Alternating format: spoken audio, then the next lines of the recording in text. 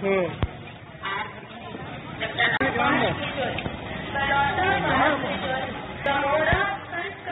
जैसा कि आप देख रहे हैं, लोअर संगम मार्ग पे एक आग लगने की सूचना आई थी तो यहीं पे बाहर ही हमारी आउटपोस्ट पे एक बाइक खड़ी थी। बाइक वाले ने तत्काल उसके ऊपर रिस्पॉन्ड किया बट अंदर अभी जो प्रारंभिक जो हमने जाँच की है, उसमें ऐसा लग रहा है कि ब्लोअर अंदर चल रहा था। ब्लोअर की हीट की वजह से जो आग थी, वो शॉर्ट सर्किट की वजह से फैल गई और अंदर अंदर ज़्यादा आग फैलने के कारण फिर देन बाइक वाला जो था, उसने इन्फॉर्म किया कि आग थोड़ी सी बड़ी हुई है। तो और गाड़ियों की मेरे को आवश्यकता है तो कंट्रोल रूम के थ्रू जैसे ही मैसेज पास ऑन हुआ तो विद इन वन मिनट हमारी जो तीन गाड़ियाँ थी, आसपास की जीटी दूसरी हमारा फायर स्टेशन है मुक्ति मार्ग फायर स्टेशन है तो उनसे तुरंत गाड़ियाँ जो थी, वो यहाँ पर पहुँच गई और यहाँ पे जो सीएफओ जोन थे, वो भी अवेलेबल थे। मैं भी तुरंत घटनास्थल पर पहुँच गया था और उसके अंदर अभी दो टेंट का नुकसान हुआ, कोई जन हानि नहीं हुई है और सभी लोग सुरक्षित हैं, आग को काबू कर लिया गया है।